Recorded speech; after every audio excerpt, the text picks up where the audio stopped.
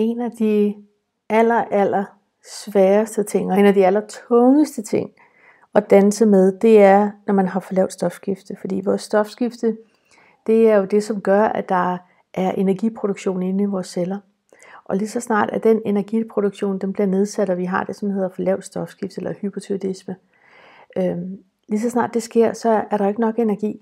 Og derfor så har man følelsen af, at man bare slæber rundt på, på det her kødkadaver, øh, og bare, man har ingen energi til noget som helst. Man føler, at man har hjernetog, man er træt og udmattet hele tiden, man har svært ved at samle tankerne, øh, og man har svært ved at bare fungere i en ganske almindelig hverdag, simpelthen fordi der ikke er nok energi på vores cellulære niveau til, at vi kan fungere optimalt.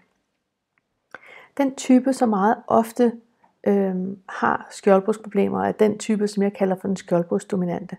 Og det, som er kendetegnet ved, når man er skjoldbrugsdominant, det er, at man har meget af det, som jeg kalder for lidt symptomer.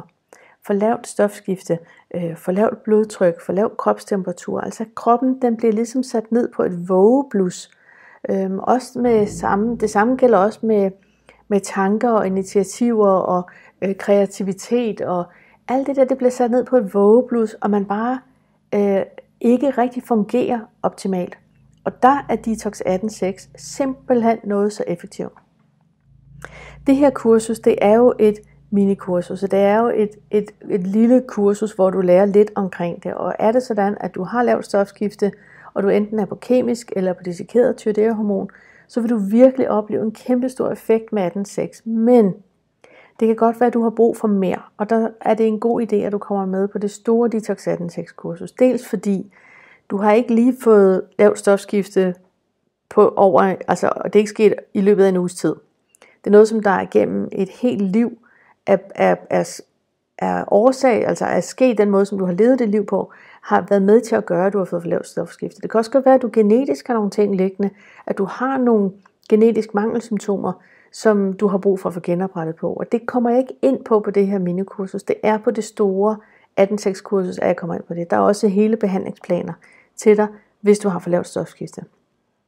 Men allerede bare efter et par dage på 18.6, så vil du opleve, at du begynder at få varme i kroppen.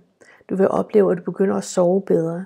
Du vil opleve, at du, din vægt vil begynde at regulere. Den væskeophobning, som øh, skjoldbrugsdominante, som de har, som jo skyldes, at man har for lidt kalium i kroppen, det kommer til at blive reguleret, fordi du giver kroppen ro.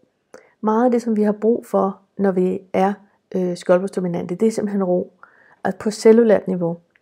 Det, som er lidt af paradokset ved det, det er, at du har jo heller ikke lyst til at spise noget, når man er, har lavt stofskifte, så føler man ikke nogen sult. Men man spiser, fordi man ved, at det skal man. Fordi problemet er det, ved det er også, at hvis du stopper med at spise, så stopper du dit stofskifte endnu mere. Så problemet for rigtig mange skjoldbrugsdominante og dem, som har lavt stofskifte, det er dels, at de ikke spiser nok. Øhm, og der, det kan man godt have lidt en tendens til på 18.6, når det kun er 6 timer, man kan spise, at man ligesom, åh, så skærer man ned på det, jeg håber, man så kommer til at tabe sig. Lige det modsatte sker. Hvis du stopper med at spise, så stopper dit stofskifte. Så det er vigtigt for dig, at du nærmest spiser non-stop i den periode, at de spisevindue det er.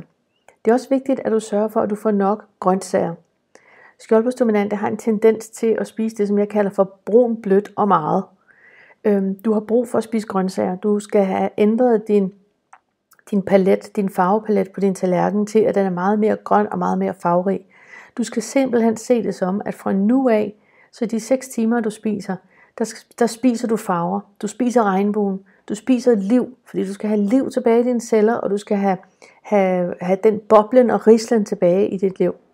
Og der vil du opleve på 18.6, at selv bare med de her, den her lille bitte ændring, som du laver med at spise i 6 timer, og give kroppen ro i de næste 18 timer, det har en kæmpe, kæmpe stor betydning. Så i gang med det, se hvad der sker, og hvis du har brug for mere hjælp, så kom med på det store øh, 18.6 kursus.